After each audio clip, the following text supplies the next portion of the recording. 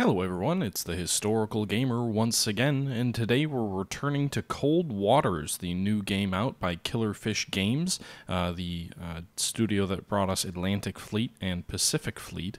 Uh, this game puts you in the shoes of an American and, in the future, a Soviet uh, submarine captain in a hypothetical Third World War uh, that's just broken out. It's loosely based on Red Storm Rising, uh, the video game, of course, which is based on the Tom Clancy uh, Red Storm Rising novel of the 1980s, hypothesizing a, a Soviet attack into Western Europe.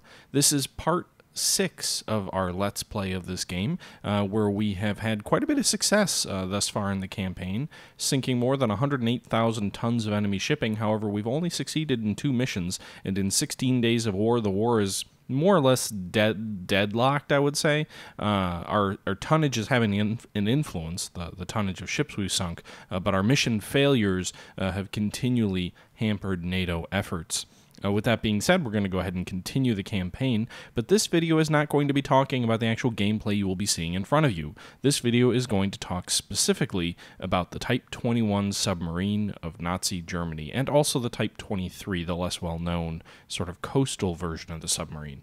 That's because in our last video, we talked about the U.S. Navy at the end of World War II, more specifically, the U.S. submarine fleet at the end of World War II. In our last video, we talked about how the United States fleet boat submarines were amongst the most modern submarines in the world. The United States had the most effective and most capable submarine force at the end of World War II, despite the fact that Germany had developed this technical marvel, which we'll be talking about shortly it was never put to sea in substantial numbers. It was never put to sea in any real numbers uh, before the end of the war. And as a result, the most capable submarine force was the United States' 200 plus submarines, capable of operating from Pearl Harbor all the way to the Japanese coast, and recently demonstrating their effectiveness in completely obliterating the Japanese merchant marine, bringing the Japanese home islands to a state of starvation, so that whether the atomic bombs or an invasion had occurred, if neither of those had occurred, the submarine force had brought the situation in Japan to a level of desperation that would have ensured a level of victory for the United States at some point in the future. Starvation is a slow process. It could have taken years and millions more could have died, but the United States had effectively destroyed the Japanese ability uh, to continue to fund and, and finance its war effort from a resources perspective. Japan didn't have resources getting it in, into Japan, so its industry was grinding to a halt. They didn't have foodstuffs coming into Japan, so the population was slowly starting to starve, and you know the the entire uh, empire's economy, of which Japan still had a substantial empire in China, the entire empire's economy was coming to a grinding halt thanks to the effective submarine campaign waged against it, the only effective submarine campaign in modern history. Um, the Germans tried twice to beat Britain with the subs. They failed both times. The United States tried once against Japan uh, and was successful. With that being said, guys, we're going to talk about why the Type 21 submarine by Germany was so revolutionary. We'll talk about its background, we'll talk about its design, and we'll talk about its impact on the navies of the world, more specifically the United States. Again, I'm reading this book, Cold War Submarines The Design and Construction of Soviet and U.S. Submarines. Uh, I continue to link to it in the description as a friend of mine who works in the sub industry uh, has told me. Uh, he's an academic, but you know I've got another friend who's also in the building of submarines has told me that frankly this is the Bible of submariners, and uh, one of my friends who serves on submarines would agree. With that being said, guys, I'm going to go ahead and uh, just start talking about the Type 21 because the Type 21 was the basis for the Cold War submarine that would be developed in the immediate post war uh, era, which is the beginning of the Cold War. And this series is going to look at the Cold War submarine conflict, the Cold War development of submarines, from the beginning of the Cold War all the way to the end of the Cold War. Even if it takes us 20 episodes of history and lectures and what have you, maybe someone will copy this and throw this on a great courses lecture at some point. Although, Lord knows, I'm not a qualified historian, I'm more of an enthusiast. With that being said, guys, that's enough of me rambling. Let's go ahead and start talking about the Type 21, Germany's miracle weapon, one of their, you know, Wunderweapons uh, that they developed toward the end of World War II, uh, which were all impressive technological feats, and yet none of them made a substantial difference in the outcome of the war. To understand the Type uh, 21 submarine, however, what we really need to first look at is understand what came before them. And if you look at the German Navy at the outbreak of World War II, it consisted largely of two classes of submarines. There were others, but principally the German submarine fleet during World War II was made up of Type 7 U boats, which were about 800 tons on the surface. Small, cramped uh, U boats, U boats that you would, uh, the example that you'd see is, is the U boat that's used in Das Boot. And then you had some larger ocean going U boats, the Type 9 class, I believe it was, substantially larger, longer ranged. Both of these boats had between four to six torpedo tubes in the front, and then they typically had one or two torpedo tubes uh, pointing aft to the rear of the boat. They carried around 20 torpedoes. Uh, they both uh, carried some external torpedoes. They both had deck guns on the uh, on the uh, surface mount of the uh, submarine, so that when the submarine surfaced, you could unmuzzle this deck gun and sink and fire an en- fired an enemy ship using traditional high explosive shells and sink it that way.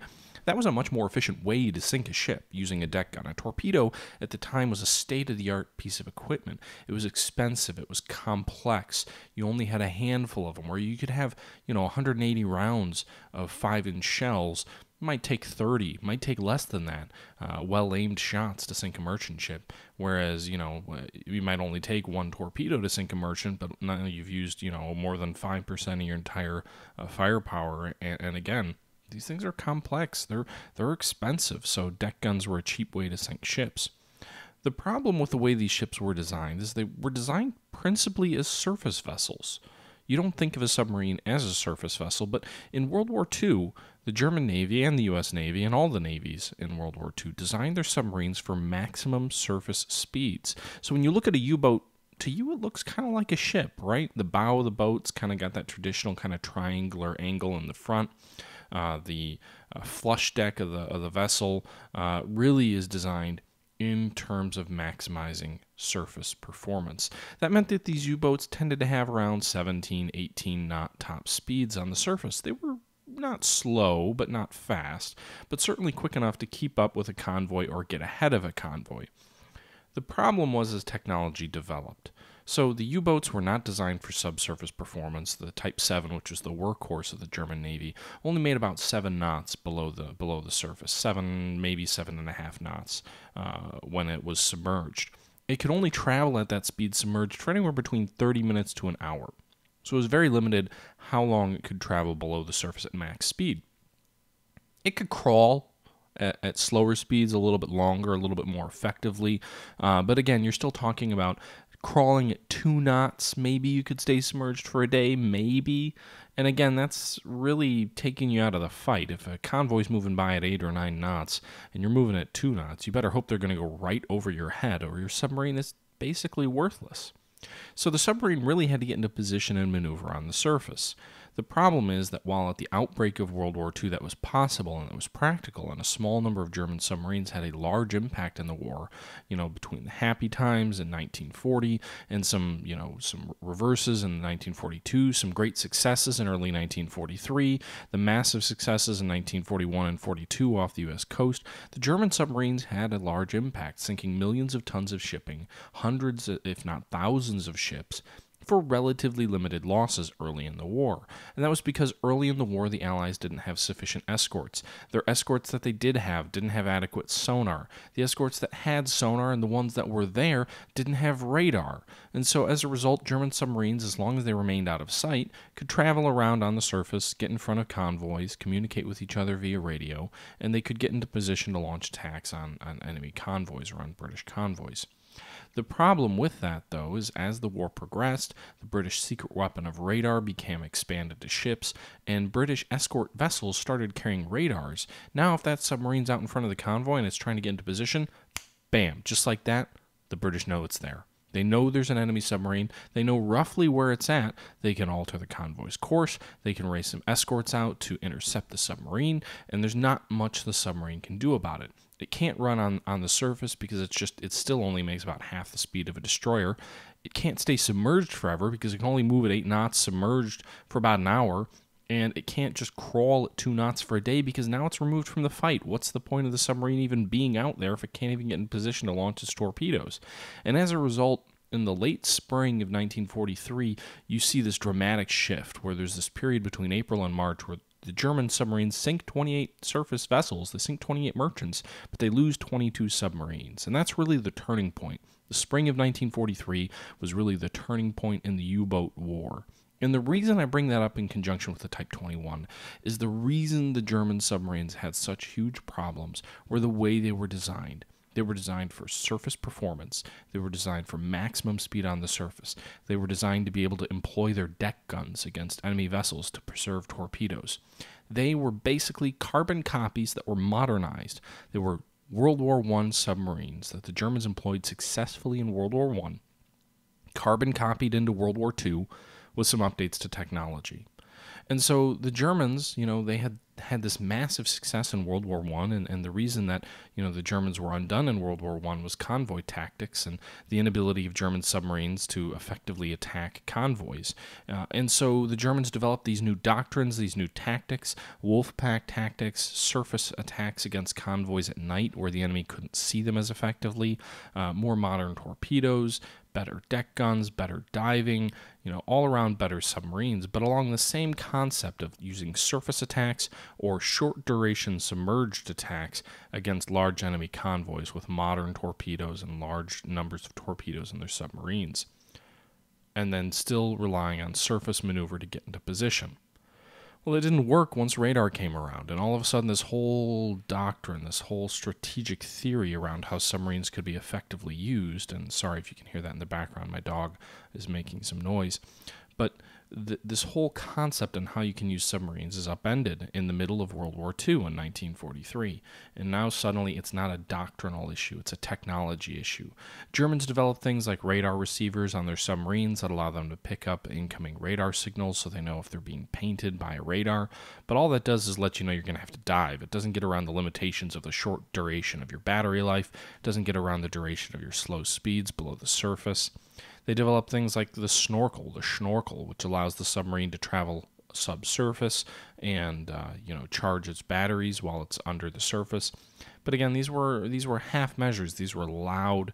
They could still be picked up by radar. They could still be spotted by aircraft flying at altitude because a submarine at, at a shallow depth, a snorkel basically allows a submarine to use its diesel engines when it's below the water. The problem is it's very it's basically at periscope depth. So you can travel a little bit quicker because you can use your diesel engines. You still have the issue that it's designed for a surface performance and not subsurface so you're not really getting the full maximum speed with your diesels. And you're only at you know 20 30 feet of depth or whatever that periscope depth is. So the enemy aircraft can see you and still drop bombs on you. Um, and again the schnorkel isn't terribly effective. It's not pleasant. It's it's not a very uh, pleasant experience to be in a boat uh, as as it's using its snorkel and using its uh, diesel engines uh, below the water. And so a lot of these technological innovations help the U-boats a little bit. They help them survive a little bit. They help them, you know, extend their range. They help them extend their battery life. But nothing really got around issues that they were having from a doctrinal perspective. What the Germans needed was they needed a submarine that could move rapidly below the surface and could maneuver quietly below the surface to get into position to attack convoys and then stay below the surface during the enemy counterattack so that it could survive over an extended period of time, an extended counterattack. And as soon as that was done, race out in front of the convoy, get back in position, and fire. Additionally, they needed submarines that could load their torpedoes quicker. Germans submarines had four to six torpedoes that they could get off in rapid succession hit a couple of merchants with them, sink a couple of merchants with them, and then they had to wait tens of minutes, half an hour sometime, to reload their torpedoes. They had to surface so they could get torpedoes out of external storage and move them into the interior of the submarine, a process that exposed the submarine to air attack and prevented it from being able to dive in a very risky procedure uh, that could also lead to you know accidental mishandlings of the torpedoes. And so these boats were not ideally set up to operate submerged for extended periods of time to be able to rapidly reload while below the surface and be able to really deal convoys a decisive blow when convoys were dealing with combined arms tactics of using uh, aircraft for top cover, using uh, destroyers for surface cover and using uh, encryption technology or, or, or, decoding technology of German communications, which made Germans, you know, using their, their communication gear basically sitting ducks uh, for the Allies because they knew exactly where German submarines were. And that was the situation in 1943. Germany trying to develop some new technologies to keep the British at bay, attempting to starve the British Empire into submission, attempting to keep American transports on the western half of the Pacific, not allowing troops to be transported to England. The Americans couldn't bring troops from the United States to England, there was no risk of a seaborne invasion. So the Germans would want to try and stop that. The Germans would want to try and stop the flow of supplies from the Western Allies to the Russians, who were using those supplies to great effect against the Germans. It's often not really talked about a lot these days but the Russian military's meat ration almost entirely came from the United States, which was su- supplying something like a pound of meat to almost every single soldier in the Soviet army through these Arctic convoys.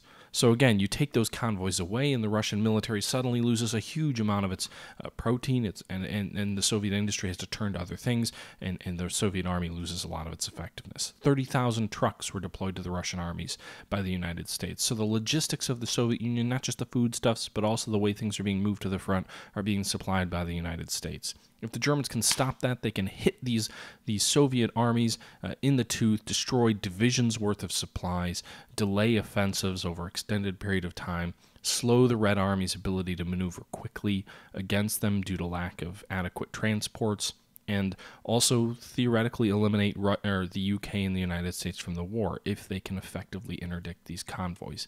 The problem is, by mid 1943, they couldn't, and they were desperate for a solution to try and get back to a scenario where they could interdict large numbers of, of surface ships without losing staggering numbers of U boats. The German Navy's view of how they could do this was again tied to the fact that if they could increase the speed of their submarines below the water and if they could make their submarines quieter, then they'd be able to more effectively engage the enemy convoys. Additionally, they wanted ways in which they could reload their torpedoes on their submarines faster, which would make them more lethal weapons so they wouldn't have to disengage between uh, salvos, basically. Fire a salvo, fire a salvo, fire a salvo, leave, convoy in flames, and destroyed. That was kind of the ideal for the Germans. The problem was, what U boat would they have that would do that? Well, designs on a U boat that might be more effective actually started before World War II even began. German engineer Hellmuth uh, Walter, so Hellmuth Walter, was already hard at work in 1936 on a revolutionary submarine design that would allow Germany to more effectively wage war undersea. His submarine was actually not powered by a diesel engine. It was a submarine that was propelled by hydrogen peroxide. So it was, in essence, a AIP system decades before AIP would become a commonplace thing. Today, modern diesel submarines have propulsion systems called AIP, which basically means that they work like nuclear boats in the sense that they have a propulsion system which doesn't rely on the use of oxygen to be able to have a combustion engine uh, that propels a submarine at high speeds and relatively quiet. Modern diesel submarines have AIP, which basically means they can stay submerged for long periods of time. They're not reliant on their batteries. Uh, World War II submarines had to surface as soon as, their, as soon as their batteries were up. They had no way to recharge them below the surface, minus a you know very shallow run with snorkels later in the war. Uh, whereas AIP allows a submarine to stay deep, uh, keep its batteries charged and operate as if it was on the surface, uh, except without you know suffocating the crew by using a diesel engine underwater. Under this design, Walter's submarine would include a streamlined hull. It would be propelled by a closed circuit turbine plant that would use thermal energy produced by the decomposition of a high concentration of hydrogen peroxide, or perhydrol. Uh, it was a complex system that enabled a turbine to be operated in closed, submerged atmosphere uh, to provide a sustained high underwater speed for a submarine. Uh, Walter uh, basically convinced the Germans to develop an experimental submarine known as V 80, built in 1940 with such a propulsion plan. Uh, the submarine was able to reach speeds submerged of more than 26 knots for a short period of time, which was obviously substantially faster than the Type 7 submarine, almost four times faster below the surface than anything that the Germans had uh, in, in service in 1940. This success of this underwater uh, performance of the boat led Germany to order what was called the Type uh, Type 17A uh, boat, which was Walter's experimental boat Germany ordered some 24 of them, uh, and the German military uh, started getting to work. But the German military was slow, it was inefficient, and they were unable to get these things taken care of quickly. Uh, by November of 1943, the first two of Walter's uh, Type 17A boats uh, were completed, U 792 and U 794, and they went to sea. They were able to obtain an underwater speed of up to 25 knots for a short period of time. Uh, the longest of these was a five and a half hour run at 20 knots. That would have been more than double the speed of U.S. fleet boats, uh, almost three times the speed of the German submarines and a duration of more than five, between 10 and 5 times uh, the standard U boat at the time. However, uh, this was all taking place in late 1943, uh, but already before this, Admiral Dönitz, the commander of the German Navy, realized that uh, the existing fleet he had was being rapidly made obsolete. It quickly became apparent that these Type 17 U boats would not be ready for quite a long time. They had a whole bunch of issues and uh, there was a conference that actually took place in November 1942, so before these U-boats' initial sea trials, uh, in which, uh, and, and this is a quote from Admiral Dönitz, uh, at this conference I learned to my regret that Walter's U-boat was nowhere near ready for service. To U-boat command who viewed with anxiety uh, the clearly recognizable event, uh, extent to which the enemy's defensive measures against the surface U boat uh, were being further deployed. This came as a great disappointment. Basically, the Germans uh, had pinned a lot of hope on this Type 17 boat, but despite this promise, despite these high underwater speeds, the boat was nowhere near ready for mass production. It was nowhere near ready for combat. And so, an alternative uh, method or an alternative design was proposed, which would allow Germany to offer a more competitive and capable submarine without completely breaking from the existing standards of the submarine force, uh, but also uh, being able to uh, utilize several of Walter's key uh, design concepts. So basically, they wanted to take Walter's streamline hull because that had been fully tested. Uh, they wanted to double the number of electric storage batteries and they wanted to remove things like the surface gun. They wanted to provide a conform, I believe it's called conform, but basically a highly uh, flush deck uh, submarine uh, without a whole bunch of uh, protruding objects. Again, the streamlined hull that would allow the submarine to have uh, sustained underwater operations uh, and be able to operate effectively. They would mount the submarine with a snorkel, which we already talked about, that would allow the submarine to recharge its batteries while close to the surface but not on the surface. And they actually developed a radar absorbent material, so sort of the first uh, inkling of stealth uh, equipment uh, that would be put on the snorkel so that uh, it would be above the surface, but the radar would not be able to pick up uh, the uh, the submarine's snorkel, and therefore, you know, unless a plane flew right overhead, they wouldn't really be able to detect them. And so that was the beginning design work on this Type 21 U boat. That was the impetus for the development of the Type 21, and it was here in 1942 and, and early 1943 uh, that this development really began in earnest. The ship that would, or the boat that would end up becoming the Type 21 was large. So when you look at the Type 17 boat of being 7 to 800 tons, the Type 21 was 1,600 tons, more than double the displacement of that Type 7. Uh, it had a streamlined hull, which was devoid of perturbances, and I'm quoting from Cold War submarines. Uh, it was a streamlined hull uh, devoid of perturbances such as chocks, cleats, or gun mounts, so there was no gun on the boat. Uh, and instead of a large conning tower with gun platforms such as anti aircraft weaponry and what have you, uh, the uh, the conning tower was streamlined, and an internal pressure chamber uh, was developed uh, that uh, acted as the submarine's attack chamber. it had a streamlined sail or fair water around the shears that supported the periscopes and other masts and, and antenna, and these features allowed the submarine to reduce the drag above the waterline. It was actually reduced down to about one sixth of previous submarines. Um, the ballast tanks were reduced in size, or at least the openings in the ballast tanks were reduced in size. Uh, and these additions and changes to the boat, as well as the doubling of the number of batteries uh, and the increasing of the voltage of the batteries, of the, the main motors uh, that were using the batteries, uh, meant that the Type 21 had nearly double the underwater speed over previous U boats. So it had 17 knots uh, submerged, was the maximum speed. They could travel up to 46 kilometers submerged at six, or sorry, 16 knots, and they could travel up to 46 kilometers be- below the surface at that speed. They could tra- travel at 12 knots for over 111 kilometers, and they could crawl along at 6 knots uh, for over 500 kilometers. These were all dramatic uh, increases in performance for the submarine, especially considering that crawling speed of 6 knots for 500 kilometers was almost the maximum speed of the Type 7 U boat in of itself. So the, the uh, all ahead slow was the equivalent of all ahead flank for the previous German submarines. The submarine had a crush depth of uh, up to uh, 1,100 feet. It was rated for 440, but the actual safety factors pushed it out to around 1,100 feet, which was much deeper than any submarines of the time. The U.S. boats ended up rating at about that based on performance, but they certainly weren't expected to go that deep. And the Type 21 was designed to go that deep, and so it had a very uh, deep diving submarine, which allowed it to much more effectively uh, avoid enemy attacks. The deeper you are, the more time you have to react to incoming depth charges, incoming hedgehogs, maneuver and speed out of the way, and the fact that the submarine was substantially faster meant that the submarine would be able to get out of the way uh, much quicker.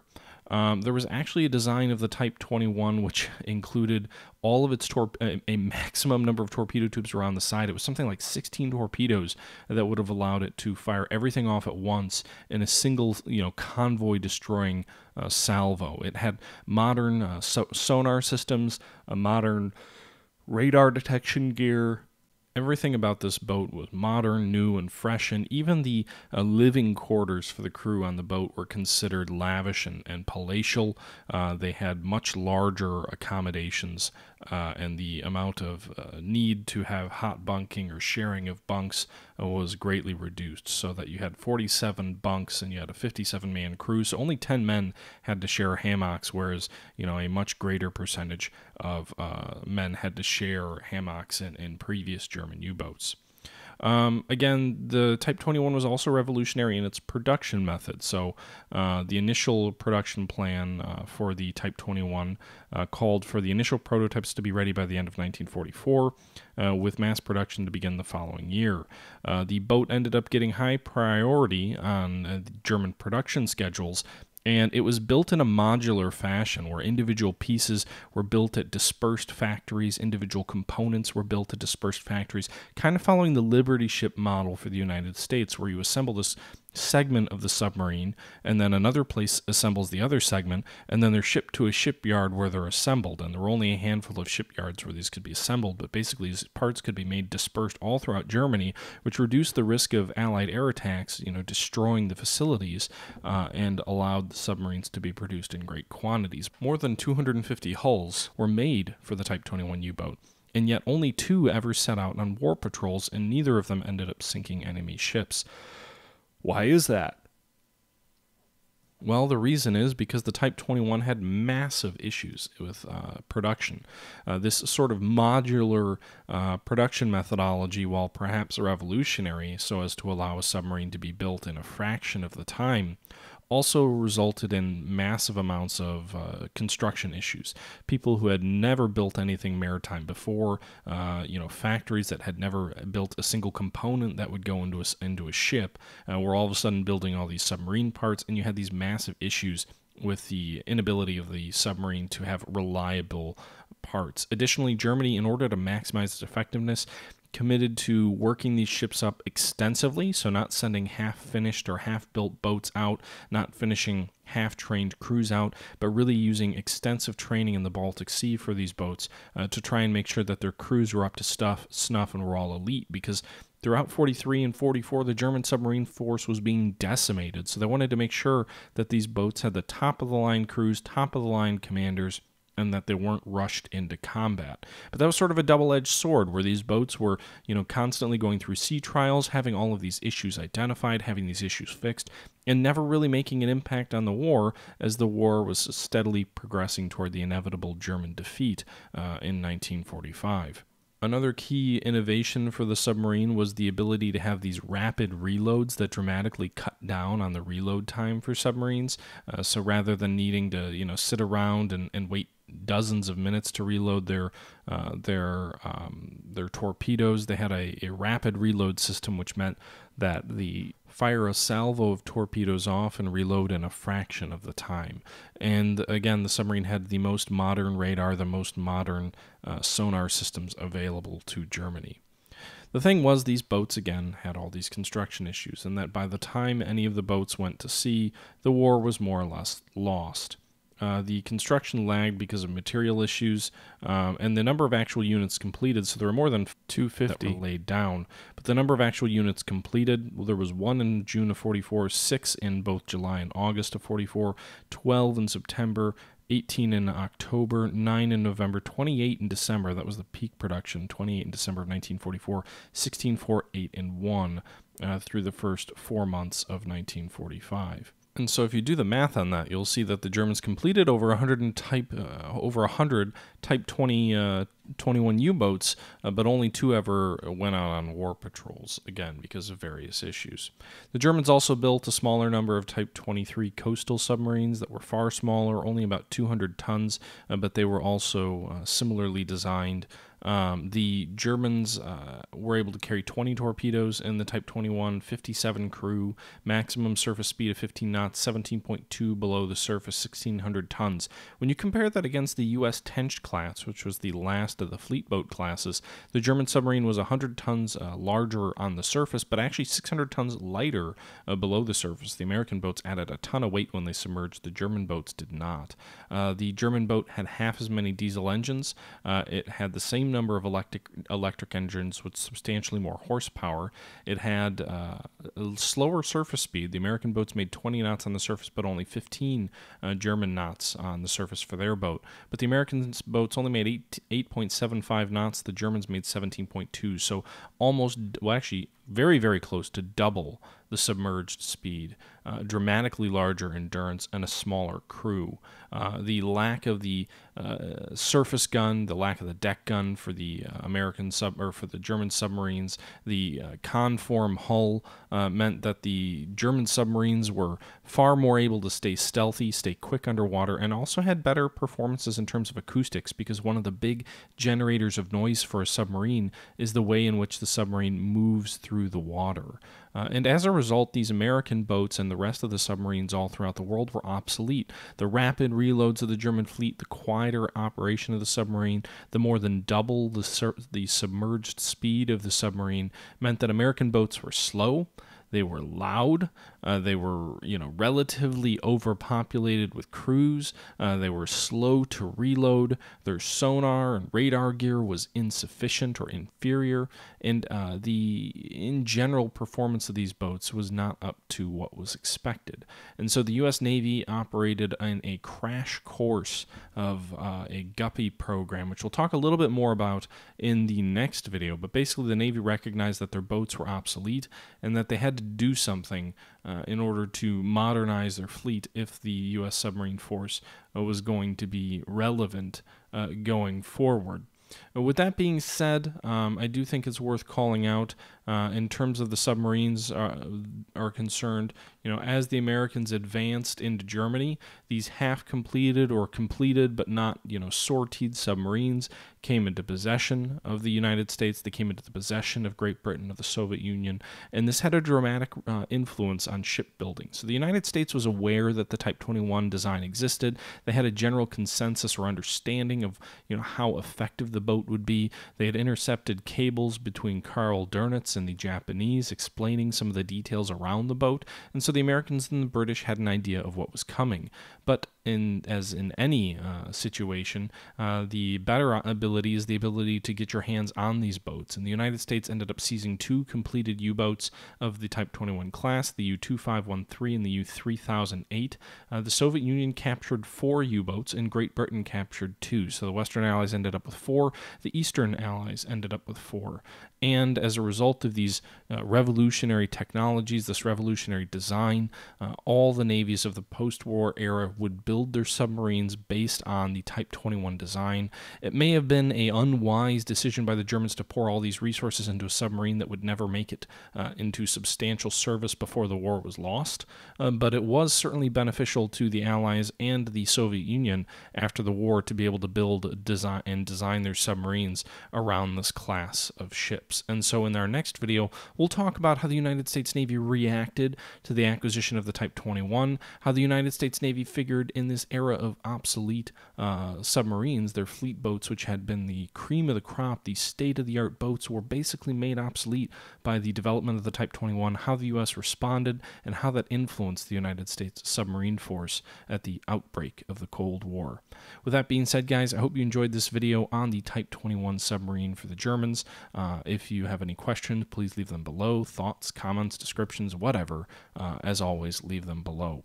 Uh, as always, this is the Historical Gamer saying thank you guys for watching the video. I hope you guys enjoyed it. And until next time, this is the Historical Gamer saying thank you for watching, and I'm out.